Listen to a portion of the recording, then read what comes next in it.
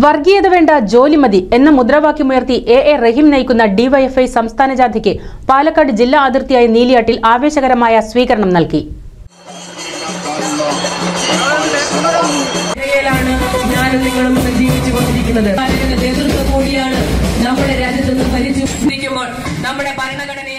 ഇരുചക്രവാഹനങ്ങളുടെയും നൂറുകണക്കിന് പ്രവർത്തകരുടെയും അകമ്പടിയോടെയാണ് ജില്ലാ അതിർത്തി പിന്നിട്ട ജാഥ കൂറ്റനാടിന്റെ മണ്ണിലേക്ക് എത്തിയത്.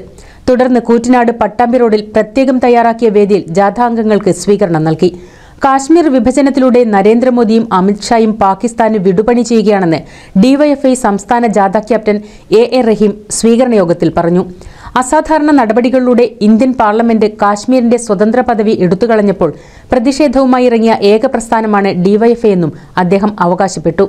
ഈ രാജ്യം അപകടത്തിലാണെന്ന് തിരിച്ചറിയുന്ന ഏക പ്രസ്ഥാനവും ഡിവൈഎഫ്ഐ മാത്രമാണെന്നും അദ്ദേഹം അവകാശപ്പെട്ടു. നാഗാലാൻഡ് സിക്കിം തുടങ്ങിയ മറ്റു സംസ്ഥാനങ്ങളുടെ സ്വതന്ത്ര പദവി എടുത്തുകളയുവാൻ മോദി സർക്കാർ തയ്യാറാവുമോ എന്നും അദ്ദേഹം ചോദ്യമുയർത്തി.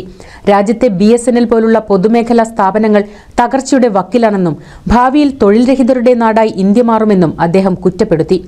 വർഗീയത വേണ്ട ജോലി മതി എന്ന മുദ്രാവാക്യമുയർത്തി ആഗസ്റ്റ് പതിനഞ്ചിന് പാലക്കാട് നടക്കുന്ന സംഗമത്തോടെ സംസ്ഥാന ജാഥ സമാപിക്കും.